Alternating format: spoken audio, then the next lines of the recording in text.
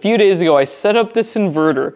This thing can output 10,000 watts and it's under $1,700. And it has two MPPTs, which can handle a maximum of 10,000 watts. So the small SRNE inverter that I tested a few weeks ago, this is two of those combined in one. So right when I got it, I built this system to charge my Tesla. And straight from the terminals, I can do a continuous 40 amps at 240 volts. Now I've already put 200 kilowatt hours through it, charging my car in the last couple days. And it is blowing my mind how cheap this thing is.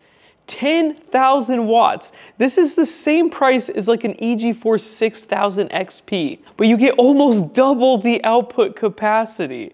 If you combine this with the budget server rack batteries like an EcoWorthy, you can run an entire house for really cheap. And so far it's been working, but I have a couple complaints. So first off, it doesn't have a PV disconnect, so you should add your own for safety. Next, this connection box is really small. On the 6000 XP and more expensive ones, it's a lot larger. Next, I have 2 aught cables, but you should use 4 aught cables, because these get pretty warm. They're within spec, but I would rather have a large larger cable on there. Next, the communication for parallel operation is a serial cable. Are you joking me? They should at least have CAN bus or ethernet. I do not like this. Next, it smells so bad. For like the first few days, this thing smelled horrible. And I'm used to having a bad smelling inverter, but this thing was the worst I've ever tested. It made this whole shop smell so bad, I had to open up the doors constantly. And finally, it's actually getting better. I've had this on the wall for like a week now. Next, there are 68 options for the settings, which is fantastic. And you don't need to use an app or a computer. And it's very easy to set up compared to like a 6000 XP, but it takes a long time to flip through all of these. But it does have some cool settings, including scheduled charging. You can use the BMS communication with different types of batteries to have a state of charge setting for discharge cutoff. Next, when I connected the Tesla charger, usually it doesn't know that it's on a floating system, but this one could tell that it had bad grounding. So I hooked up this grounding conductor and it actually fixed the issue. Usually this happens if you have a mobile connector and you have the neutral and the ground is not bonded. But here I didn't have that, so I was like, what's going on? So I connected a grounding conductor to a true earth ground and it fixed the issue. Next, there are no breakers for the AC output. There is one for the AC input, and that input has to have 120 and 240 volts. So don't try to connect 120 volts to this thing because you need two hot conductors, two phases. If not, it will not work, and you need the neutral. You have to have all four. Besides that, it's been fantastic. I always try to find the problems. That's my whole job.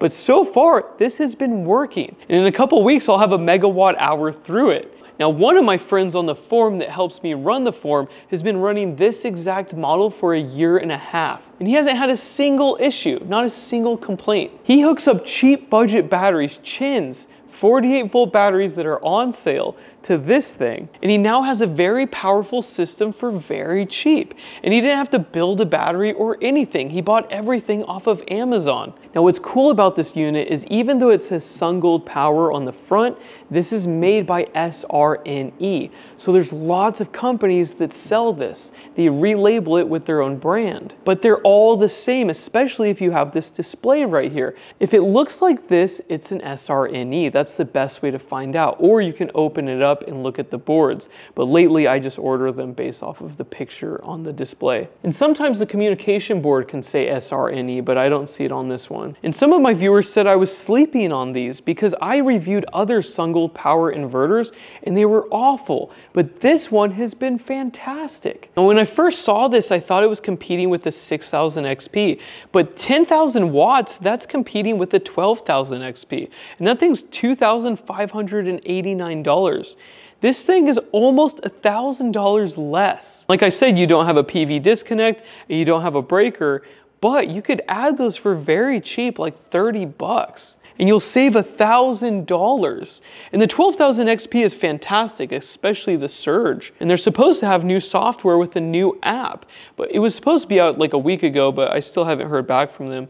But yeah, if you want something that's solid that you can program from the screen that you don't need to set up with an app from a very reliable company where people have been running these things for a long time, this is a fantastic option. And I'm gonna run it for as long as I possibly can. I'm probably gonna run the Bunker Vault next. I'll swap out the 12,000 XP and see how well it runs in there. The other one, the little brother of this with the hand truck system, I'm still running outside. It's like 110 degrees outside in a metal building, and I still haven't had an over temperature or anything else. And I'm almost at a megawatt hour. A lot of people like that thing. People run it for a long time.